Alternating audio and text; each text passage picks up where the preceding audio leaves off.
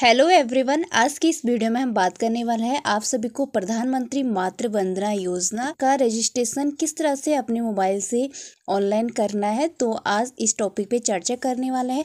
आपको यदि अपने मोबाइल से प्रधानमंत्री मातृ वंदना योजना का रजिस्ट्रेशन करने में कोई प्रॉब्लम हो रही है तो आप इस वीडियो का एंड तक देखिएगा और आपके विभाग के द्वारा आपको एक यूज़र आईडी और एक पासवर्ड दिया गया होगा, जिसे डाल के आप इस फॉर्म का ऑनलाइन फिलअप कर सकते हैं। तो चलिए, आप वीडियो में एंड तक बने रहेगा और यदि चैनल पर नए हैं तो चैनल को सब्सक्राइब कर लीजिएगा और बेलाइकन घंटे को प्रेस कर लीजिएगा। आपके फ़ोन में एक क्रोम ब्राउज़र या गूगल होगा तो आप इस तरह से गूगल से भी कर सकते हैं। आप ओपन कीजिएगा एंड उसके बाद यहाँ पे आपको सर्च करना है P M M V Y dot N I C dot in login आप इसे लॉगिन करेंगे। आप इस आईडी से इसे लॉगिन कीजिएगा एंड उसके बाद आपको यहाँ पे क्लिक करना है। आप यहाँ पे क्लिक करेंगे, आप इसे लॉगिन करेंगे। लॉगिन करने के बाद आपको इस तरह का पेज खुल के आएगा। तो यहाँ पे सबसे पहले आपको आपके विभाग के द्वारा जो ईमेल आईडी यूज़र आईडी दी गई है, आपको यहाँ पे उसे सेलेक्ट करना है। यानी आपको उसे यहाँ पे डालना है एंड उसके बाद पासवर्ड दिया गया होगा। आप यहाँ पे पासवर्ड डालेंगे एंड उसके बाद आपको ये कैप्चा जिस तरह से लिखा हुआ है यहाँ पे आपको उसे डालना है। और उसके बाद आप यहाँ से लॉगिन करेंगे तो आपका ये लॉगिन हो जाएगा, आपका ये फेस खुल जाएगा। एंड उसके बाद यहाँ पे आपके लिए इस तरह का पेज ओपन हो जाएगा। तो आपको यहाँ पे क्लिक करना है ऊपर। आप यहाँ पे थ्री लाइंस दिखाई दे रही होंगी। आप इसे क्लिक करेंगे। एंड उसके बाद यहाँ पे आपको जाना है डाटा एंड सेकेंड ऑप्शन आपको यहाँ पे डाटा एंट्री दिखाई दे रहा होगा। आप इसे क्लिक करेंगे। और उसके बाद यहाँ पे आपको जाना है बेनिफिशरी रजिस्ट्रेशन पे। आपको यहाँ पे काफ़ी ऑप्शन दिए गए हैं। पहला ऑप्शन है आपका बेनिफिशरी रजिस्ट्रेशन जब आपको प्रधानमंत्री हेतु रजिस्ट्रेशन करना है तो आप यहाँ पे इसे क्लिक करेंगे।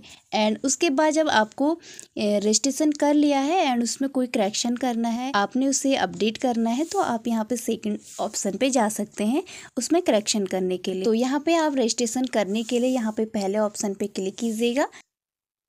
एंड उसके बाद आपको इस तरह का पेज खुल के आए तो यहाँ पे आपको यदि इंग्लिश में ये फॉर्मेट समझ में नहीं आ रहा है तो आप यहाँ ऊपर सेलेक्ट लैंग्वेज में जा सकते हैं। आप इसे क्लिक करेंगे और यहाँ पे आपको दो ऑप्शन दिए गए हैं, इंग्लिश और हिंदी। आपको यहाँ पे विभिन्न प्रकार की भाषाएँ नहीं दी गई है।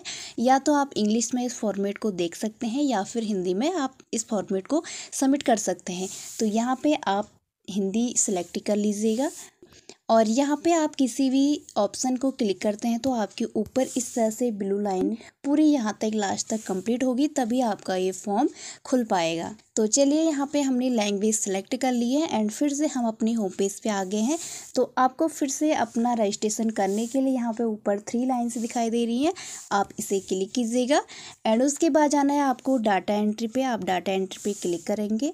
एंड उसके बाद यहाँ पे पहला ऑप्शन है बेनिफिशियरी रजिस्ट्रेशन तो आप इस पर क्लिक कीजिएगा।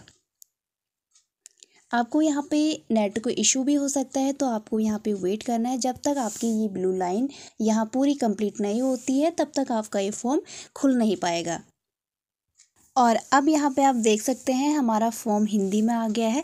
तो यहाँ पे सबसे पहले आपको ऊपर लाभार्थी का पंजीकरण करने के लिए यहाँ पे ऊपर आपको ऑप्शन दिया गया है क्या केंद्र सरकार या राज्य सरकार कर्मचारी हैं? यदि लाभार्थी के हस्बैंड सरकारी जॉब में है तो आपको यहाँ पे यहाँ पे क्लिक करना है। यदि नहीं है तो तो आपके लिए ऑप्शन पहले से ही दिया गया है नहीं पे। तो यहाँ पे आपको नहीं पे क्लिक करना है। उसके बाद है आपका दूसरा ऑप्शन आवेदन के लिए ये कौन सा लाभार्थी है पहला या दूसरा? तो यहाँ पे हम बात करने वाले हैं अभी सेकंड चाइल्ड के लिए। तो आपको यहाँ पे सेकंड पे क्लिक करना है, यानी दूसरी बालिका पे क्लिक करना एंड उसके बाद नीचे दिया गया है आपको जीवित बच्चों की संख्या। तो यहाँ पे आपको नंबर ऑफ़ लिविंग चिल्ड्रन तो यहाँ पे आप जैसे ही इस पे क्लिक करेंगे तो आपको यहाँ पे नंबर दिए गए होंगे। तो यहाँ पे आपके बच्चों की संख्या दो ही होनी चाहिए, क्योंकि इस, यदि आप सेकंड चाइल्ड के लिए फॉर्म भर रहे हैं तो आपका पहला लड़की होगी या फिर लड़का होगा। तो इसलिए आपके दो ही बच्चे यहाँ पे होने चाहिए तो यहाँ पे आप नंबर टू डाल देंगे। एंड उसके बाद आपका है क्या लाभार्थी के पास आधार कार्ड है तो आप हाँ पे क्लिक कीजिएगा एंड उसके बाद यहाँ पे लाभार्थी का नाम डालिएगा एंड उसके बाद यहाँ नीचे आपको लाभार्थी का आधार डालना है। जब आप यहाँ पे लाभार्थी का आधार डालेंगे तो आपका इस तरह से गोल गोल यहाँ पे घूमेगा, क्योंकि आपका आधार ऑनलाइन हो रहा है एंड उसके बाद जन्म तिथि डालेंगे। उसके बाद यहाँ पे आपकी जन्मतिथि डालने के बाद उम्र स्वयं यहाँ पे फिलअप हो जाएगी। एंड फिर आपको भरना है यहाँ पे कैटेगरी आप जिस भी कैटेगरी से बिलोंग करते हैं तो यहाँ पे आप कैटेगरी डाल लीजिएगा। एंड उसके बाद आपको मोबाइल नंबर डालना है। फिर आता है यहाँ पे पात्रता प्रमाण पत्र आपके डॉक्यूमेंट्स जो भी आपको यहाँ पे सिलेक्ट करना है, आप उस डॉक्यूमेंट्स को यहाँ पे ऑनलाइन कर सकते हैं। यहाँ पे आपको क्लिक करना होगा। यहाँ पे आपको काफ़ी ऑप्शन दिए गए हैं तो आप यहाँ से अपने ऑप्शन सिलेक्ट कर सकते हैं। तो यहाँ से आप ई श्रम कार्ड, मनरेगा जॉब कार्ड, जो भी डॉक्यूमेंट्स आपको यहाँ पे आपके पास है तो आप यहाँ से उसे सिलेक्ट कर लीजिएगा। जैसे मान लीजिए कि हमने यहाँ ई श्रम कार्ड सेलेक्ट कर लिया है तो ई श्रम कार्ड के आपको नीचे यहाँ पे आईडी पहचान पत्र डालनी होगी। यानी आईडी नंबर जो ई श्रम कार्ड में आईडी नंबर दिया होता है आप उसे यहाँ पे डाल लीजिएगा। उसके बाद फ़ाइल अपलोड करें यहाँ पर आपको फ़ाइल अपलोड करनी है ई श्रम कार्ड जो ऊपर आपने दस्तावेज़ लगाए उसको यहाँ पर आपको अपलोड कर लेना है। जैसे कि आपने यहाँ पे ई श्रम कार्ड को सिलेक्ट किया था तो उसकी आईडी नीचे डाल दी है तो उसकी फ़ोटो को भी यहाँ पे आप अपलोड कर सकते हैं।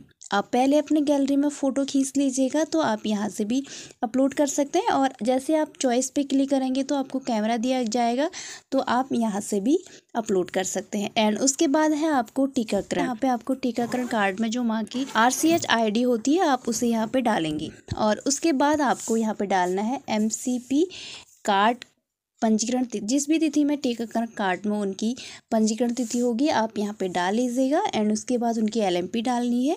जो भी टीकाकरण कार्ड में लिखा हुआ है, आप उसे ही यहाँ पे डालेंगे। एंड उसके बाद है आपको एएनसी की तारीख, प्रसव पूर्व जाँच, जो प्रसव पूर्व जाँच उसमें लिखी होंगी टीकाकरण कार्ड में तो आप वहाँ से इसमें चढ़ा लीजिएगा। एंड उसके बाद है आपको क्या बच्चा पैदा हुआ है तो आपको हाँ पे क्लिक करना है और उसके बाद है बच्चे की वास्तविक जन्म तिथि जो भी बच्चे के जन्म प्रमाण पत्र में उसकी वास्तविक डेट ऑफ़ बर्थ लिखी है, आप उसे यहाँ पे सिलेक्ट कीजिएगा एंड उसके बाद है इस गर्भावस्था में पैदा हुए बच्चों की संख्या। तो यहाँ पे बच्चों की संख्या डाल लेनी है, आप इसे ओपन करेंगे। एंड उसके बाद यहाँ पे आपको वन डाल लेना है। यदि दो बच्चे पैदा हुए हैं, जुड़वा तो आप टू नंबर डाल लीजिए। एंड उसके बाद आपको डालना है बच्चे के जन्म संस्थान का प्रकार। तो आप यहाँ पे क्लिक करेंगे। आपको यहाँ पे ऑप्शन दिए गए हैं। आंगनबाड़ी सेंटर गवर्नमेंट हॉस्पिटल घर पे या कहीं अन्य जगह है प्राइवेट हॉस्पिटल जहाँ पे भी आपका ये बच्चा पैदा हुआ है तो आप उसे क्लिक कीजिएगा। उसके बाद नीचे है आपका शिशु संस्थान का नाम। कहाँ बच्चा पैदा हुआ है तो आप यहाँ से जहाँ भी बच्चा पैदा हुआ है सरकारी हॉस्पिटल का नाम या घर पे कहीं पे तो आप उसका नाम यहाँ पे जन्म प्रमाण पत्र में लिखा होगा तो आप यहाँ पे लिख लीजिएगा। एंड उसके बाद आता है हमारा पहला बाल लिंग। तो यहाँ पे आपको पहला बाल लिंग महिला डालनी है, यानी फीमेल डालना है, क्योंकि आप सेकंड चाइल्ड के लिए फॉर्म भर रहे हैं। यदि आप फीमेल पे क्लिक करते हैं तो आपका ये सेकंड चाइल्ड के लिए फॉर्म नहीं भरा जाएगा। आपको ये फॉर्म कैंसिल हो जाएगा। क्योंकि आप सेकंड चाइल्ड के लिए फॉर्म भर रहे हैं तो आपको यहाँ पे सेकंड नंबर फीमेल पे क्लिक करना है। एंड उसके बाद आपको वर्तमान पता डालना है। यहाँ से आप क्षेत्र को ग्रामीण शहरी सेलेक्ट कर सकते हैं। पता में यहाँ पर जो भी आपका वर्तमान पता है, जहाँ भी रह रहे हैं तो आप उसे यहाँ पे भर सकते हैं। एंड उसके बाद आपका यहाँ पे स्टेट का नेम और जो ज़िला है आपका डिस्ट्रिक्ट और ब्लॉक जो भी होगा, ये पहले से यहाँ पे शो करेगा। तो यहाँ पे आप चेक कर लीजिएगा कि आप इस स्टेट और डिस्ट्रिक्ट एंड ब्लॉक के अंदर आते हैं तो तभी आप इस फॉर्म को अपने फॉर्म से फिलअप करेंगे। एंड उसके बाद आपको ब्लेज भरना है यहाँ पे, आपका जो भी ब्लेज है, नेम है, आप यहाँ पे डालिए एंड उसके बाद यहाँ पे आप पिन कोड डालेंगे, आपका जो भी ब्लेज पिन कोड है। और उसके बाद नीचे आपका लास्ट में फ़ील्ड कार्यकर्ता चुने। तो आपका जो लास्ट में जो आपका केंद्र कोड है, आपके आंगनबाड़ी केंद्र का, कोड यहाँ पे नेम और कोड शो करेगा तो आप उसे भी चेक कर लीजिएगा। तो इस तरह से आप सारी डिटेल को फिलअप करेंगे और लास्ट में यहाँ पे आपको सबमिट का ऑप्शन दिखाई दे रहा है तो आप यहाँ से इसे सबमिट कर लेंगे। तो इस तरह से आप अपने प्रधानमंत्री मातृत्व वंदना योजना सेकंड चाइल्ड यानी दूसरी बालिका के लिए जो फॉर्म फिलअप कर रहे हैं तो आप उसे इस तरह से भर लीजिएगा। तो उम्मीद करती हूँ कि आप सभी को ये वीडियो अच्छा लगा होगा। यदि वीडियो अच्छा लगा तो प्लीज़ लाइक कीजिएगा, शेयर कीजिएगा और यदि कोई सवाल है तो आप कमेंट कर सकते हैं। तो चलिए मैं मिलती हूँ एक नई वीडियो में। तब तक के लिए आप सभी को बाय